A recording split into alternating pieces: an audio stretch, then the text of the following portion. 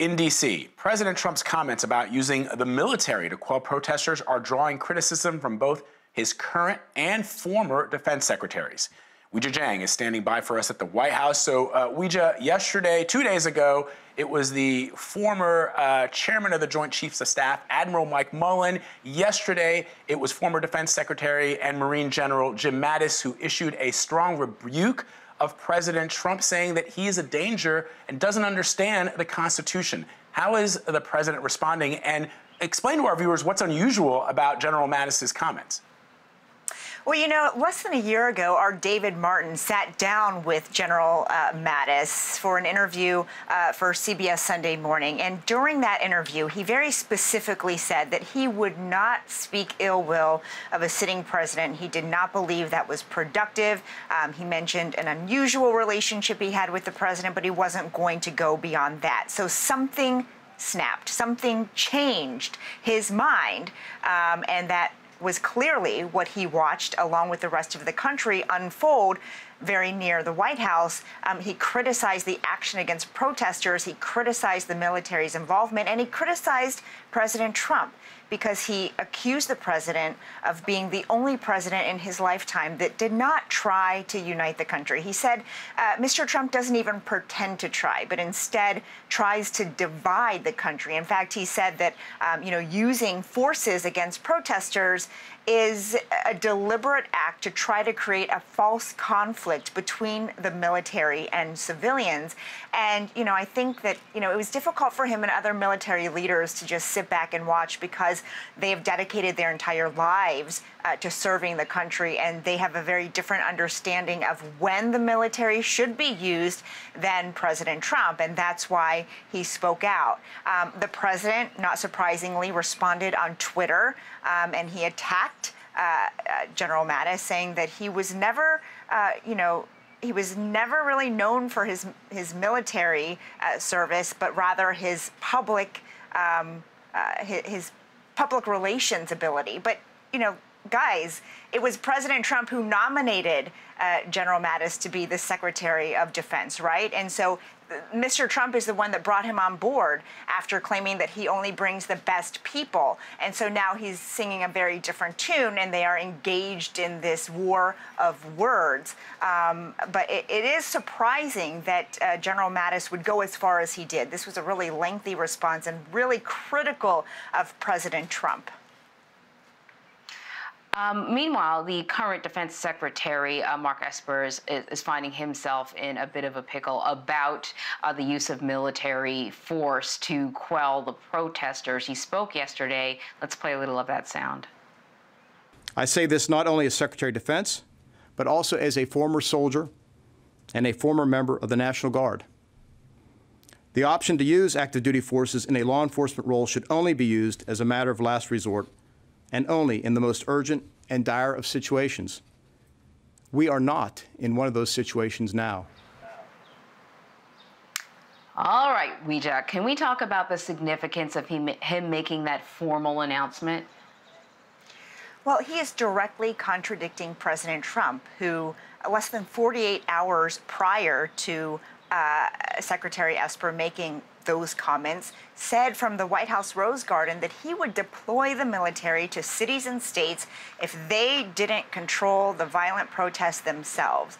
Um, he's been urging everybody really to call on the National Guard to get involved. Um, and, and many states have said, we don't want your help. And beyond that, if we're not requesting your help, it is not legal to send it our way. And so President Trump was going to invoke or, or threaten to invoke the Insurrection Act, uh, which could have allowed him to send in troops anyway.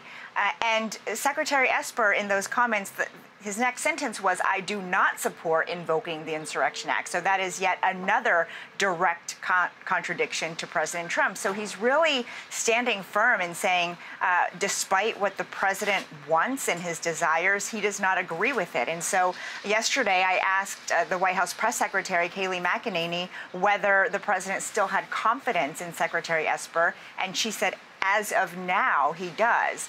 Um, but it was far from, uh, you know, an endorsement of the secretary. And it sort of left me wondering whether we should be checking the president's Twitter uh, feed for some announcements because, you know, this was not um, something left open for interpretation.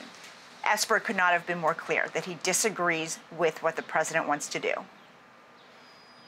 And, and to the point that you were making earlier, Weijia, uh, uh, General Mattis, uh, Secretary Mattis in The Atlantic wrote uh, this that we must reject thinking of our cities as a battle space, referencing what Secretary Esper said on that conference call to governors. And uh, uh, General Mattis went on to say this At home, we should use our military only when requested to do so on very rare occasions by state governors. Uh, and, you know, the reason I'm, I'm, focusing on this, Weijia, is because the president and his administration have made a number of comments in uh, recent days all around these protests that have been happening uh, uh, for George Floyd, but overall for police brutality in this country, including comments like the president saying that he was just inspecting a bunker, uh, asking Americans to believe that in the midst of this pandemic, in the midst of the division that we've seen all across the country with thousands, if not millions of people taking to the streets all around the world, that this would be the time that the President of the United States would happen to go down into a bunker to inspect it. Uh, they get into a semantics discussion with Kayleigh McEnany and the White House press corps over whether or not it was tear gas as opposed to pepper spray. And then the President of the United States on his Twitter feed seems to indicate that he gave General Mattis the nickname Mad Dog, which of course is not true. That nickname has been uh, part of um, uh, General Mattis's moniker since 2008. And so, you know, I know these are little things, but they all add up. If the president is willing to be uh, uh, to misstate the truth when it comes to just a nickname for a general who's had a nickname going back to 2008, what else can we trust the president on?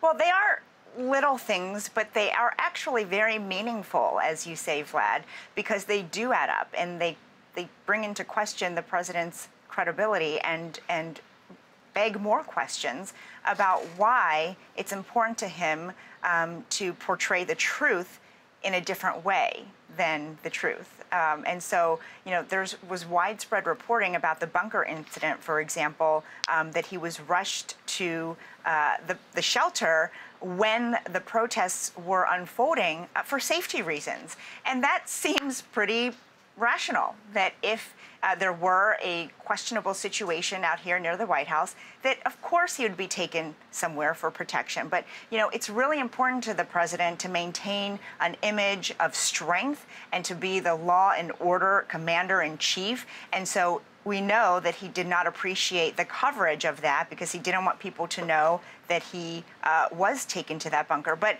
when he says things, Vlad, to your point, it often raises even more questions. He said he was going to inspect this bunker, but he also admitted that he's been there before. So if he had been there before, what's the inspection for and why is it his job to inspect it? So again, a lot of questions that the press secretary refused to answer. She said she was not going to go beyond what the president said about that. So we're left in the dark about that. But, um, you know, it, it's just one example of so many that you pointed out that just leaves people asking, what's the point?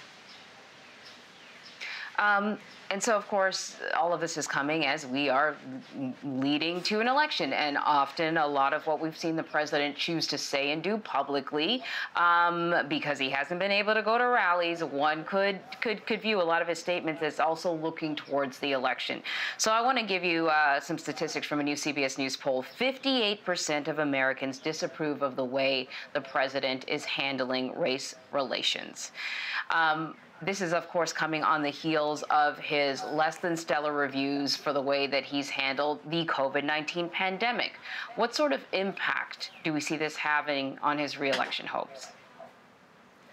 Well, President Trump would say that, you know, it, it doesn't reflect the truth because he continues to argue and, in fact, continues to tweet and, and say uh, verbally when he has the chance that he has done more for the African American community than any other president, except for maybe Abraham Lincoln. And so he continues to bring up a different set of numbers um, uh, of unemployment and of home ownership and of um, you know all these things that he believes he has accomplished for uh, the black community. But he never really answers what's at the heart of the crisis that's unfolding right now, which is whether he understands the reason why these protests are happening.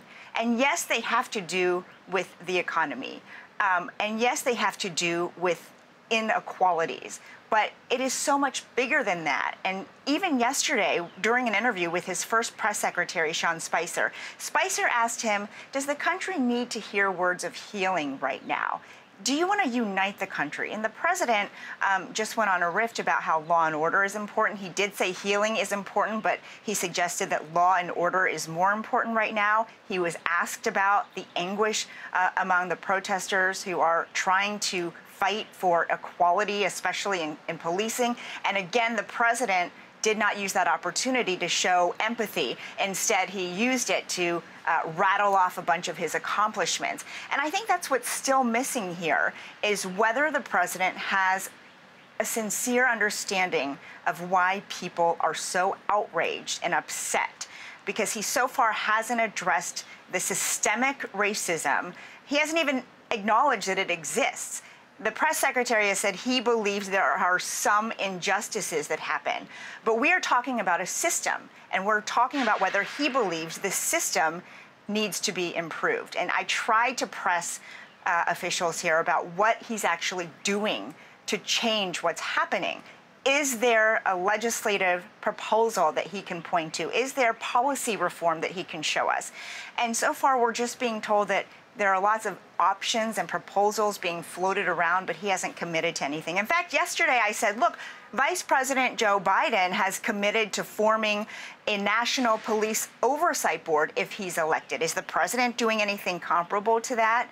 Um, and you know, no answers, no definitive answers. And that's why there's so many questions about whether he understands what people are really demanding when they're in the streets.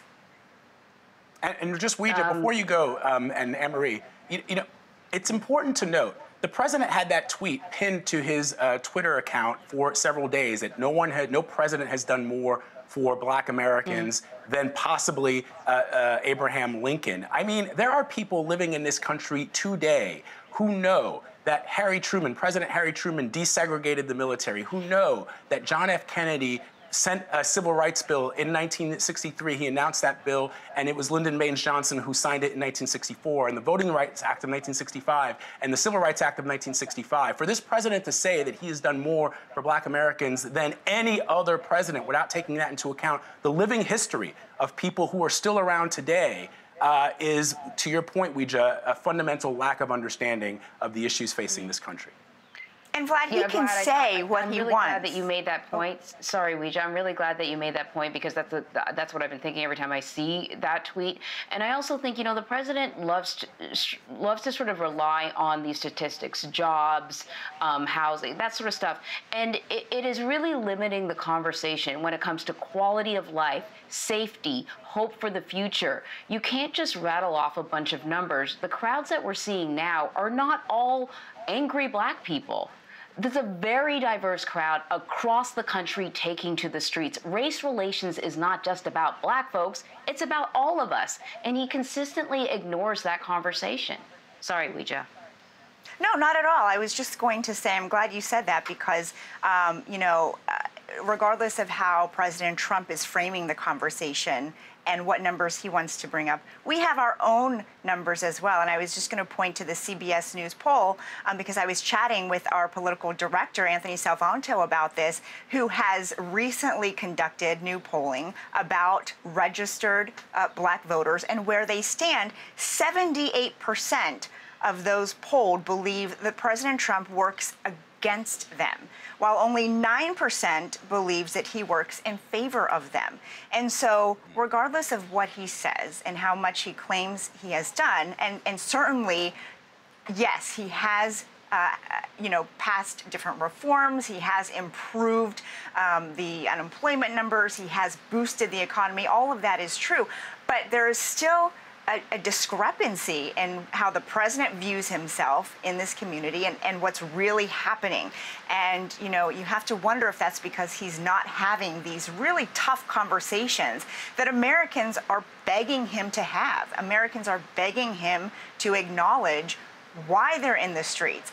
And, you know, when he has these chances, when he addresses the public during national speeches, it's just like the elephant in the room that he's not talking about he's not talking about the issues that people are fighting for. In fact, he's talking about a very small group of people who are taking advantage of the situation instead. Yeah, so true. Hey, Weijia, always great talking to you, getting your insight. Thank you so much. Thanks, guys. So, as you can tell, there's a whole lot to talk about. Um, and the conversation continues throughout the day, but especially at 5 p.m. on Red and Blue. Elaine Quijano and the team are going to talk politics, though, you know, all the stuff in relation to politics, um, the news in Washington, across the country. So, make, so, make sure you tune in at 5 p.m. right here on CBSN.